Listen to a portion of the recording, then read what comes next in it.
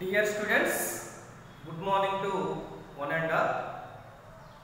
In plant kingdom, totally completed in characteristics in algae, characteristics in bryophytes, characteristics in pteridophytes, characteristics uh, in uh, gymnosperms, and uh, characteristics in angiosperms. Today, we are going to discuss about the the last topic in plant kingdom that is uh, plant life cycles and uh, alternation of generations. Dear students, what is meaning of alternation of generations? In plants, both haploid and uh, diploid cells, both haploid and uh, diploid uh, cells undergo mitosis. This phenomenon is leading to the formation of haploid plant body and uh, diploid plant body. The haploid plant body undergo mitosis to be produced haploid gametes haploid gametes. These haploid gametes to be fusing within the forming of diploid zygote or diploid sporophytic plant body in this events be haploid gametophyte and diploid sporophyte that is named alternation of generations. Okay now, once again in plants both haploid and diploid cells undergo by mitosis by mitosis so in this uh, phenomenon to be leading in the formation of haploid plant body and uh, diploid plant body. In this uh, haploid plant body to be produced haploid gametes. That is uh, one number of chromosomes or one set of chromosomes. That is named gametophytic plant body.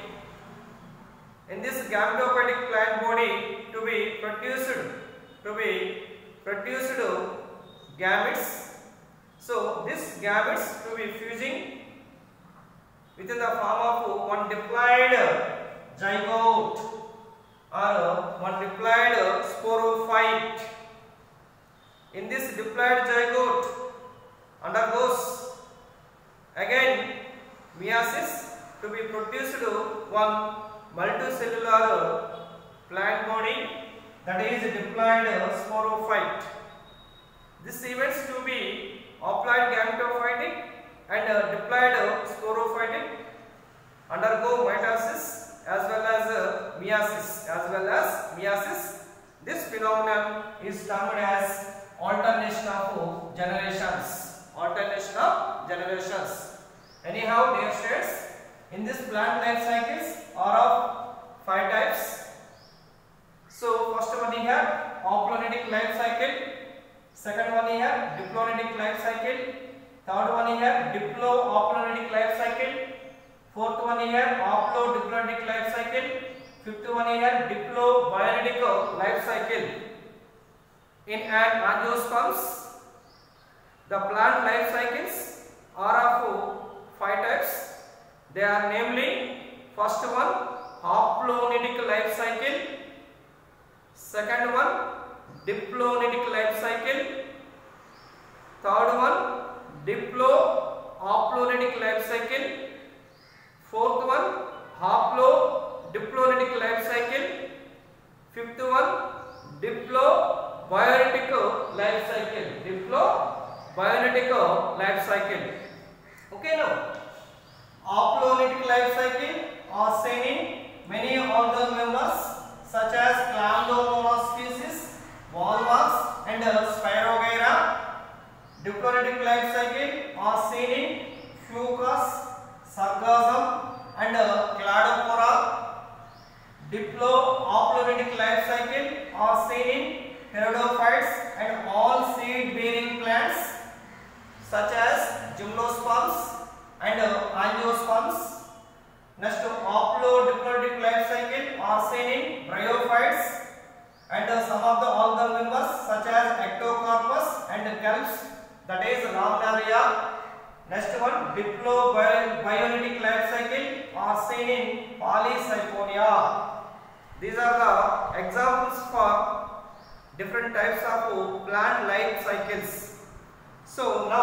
us discuss about the so mainly three types of plant life cycles.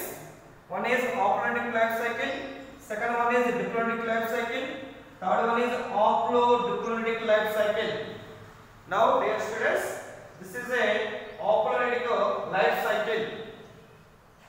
So in generally the sporophytic plant body especially in the algal members haploditic life cycle are seen in or given the examples for most of the algal members such as uh, Chlamydomonas species, Volvox and uh, Spirogyra. In generally the algal members, the thallus body or plant body is uh, generally in sporophytic. Is generally in sporophytic. So in sporophytic generation would be developed to one celled zygote. One celled zygote. Okay now.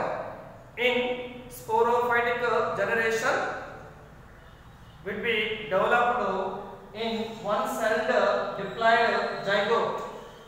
This one undergoes meiosis to be produced to meiospores. These are haploid number of chromosomes. These are haploid number of chromosomes. So these spores are again to be developed to gametophyte. Gametophyte. By means these spores undergo mitosis to be form a gametophyte. So in this gametophyte to be produced haploid number of gametes that is gametogenesis. That is gametogenesis.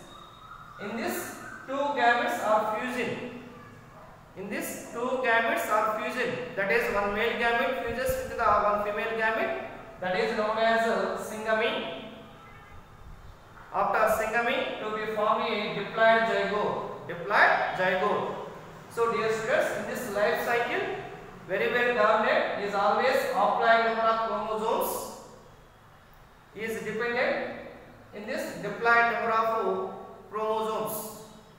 That is gametophyte is always dominant, but here sporophyte is always uh, independent or dependent on the gametophyte. Dependent on the gametophyte. Okay now. So this is a aploidic life cycle. So most of the stages are here haploid number of chromosomes. Few stages are here diploid number of chromosomes.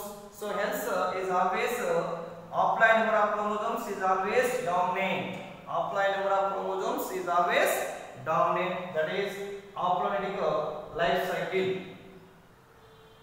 Okay, like here haploid number of chromosomes are here spores, gametophyte, gametes that is gametogenesis. But number of chromosomes are here only one that is uh, diploid zygote. Only one that is diploid zygote. Next coming to diploidic life cycle. So diploidic life cycle are seen in fucus, sargassum and also cladophora. Some of the algal members especially fucus, sargassum and cladophora, the thallus body or plant body is generally diploid number of sporophyte. This diploid number of sporophyte. So this diploid number of sporophyte undergo mitosis to be produced to be produced gametes to be produced gametes that is gametogenesis that is gametogenesis. This gametes undergoes meiosis. This gametes undergoes meiosis to be produced several gametes. But here two two gametes are fusing. Two two gametes are fusing. Two two gametes are fusing. One male gamete with the fuse of one female gamete. That is phenomenon known as syngamy or fertilization. So thereafter to be form of one diploid zygote. To be form of one diploid zygote. This diploid zygote after modified to diploid sporophyte.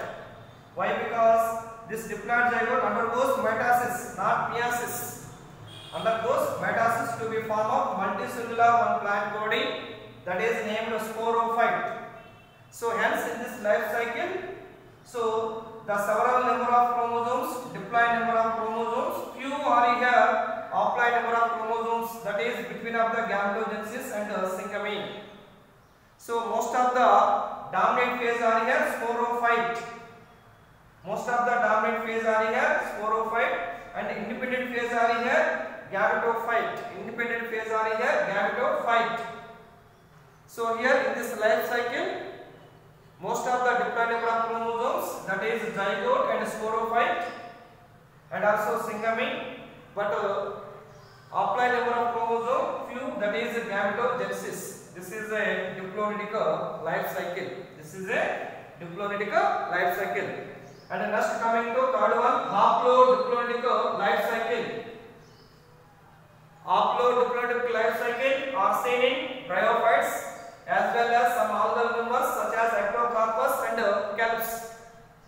In bryophytes, very interestingly, to be appeared in intermediate stages. In intermediate stages, both are multicellular. Both are multicellular.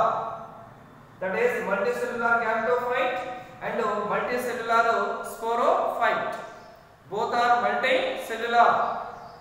That is uh, so dominant sporophyte, multicellular and uh, dependent gametophyte. Dependent gametophyte. Dependent gametophyte. So dear students, the diploid number of sporophyte undergoes meiosis to be produced uh, several meiospores. In this meiospores undergoes mitosis to be produced uh, gametophyte. In this gametophyte to be produced again new two gametes that is called gametogenesis. So one male gamete fuses with the one female gamete. So this phenomenon is named as syngamy or uh, fertilization. After fertilization to be formed one diploid zygote. This diploid zygote undergoes mitosis to be form of diploid sporophyte. In bryophytes, so very interestingly, to be appeared the intermediate condition of stage. Both stages are multicellular in dominant uh, sporophyte and uh, independent uh, gametophytes. Independent uh, gametophytes. This is uh, haplodiploidic uh, life cycle. Haplodiploidic life cycle. Diploidic members are here zygote and sporophyte. Haplodic members are here meiospores, gametophytes and gametogenesis. Gametogenesis. This is a plant life cycle and uh, alternation of generations in angiosperms. In this chapter totally completed and in this unit totally completed. That is uh, first unit diversity in the living world containing four chapters. The first chapter the living world, second chapter biological classification, third chapter science of plants botany, fourth chapter plant kingdom. This is a very larger chapter and very very interesting chapter. Okay now, thank you.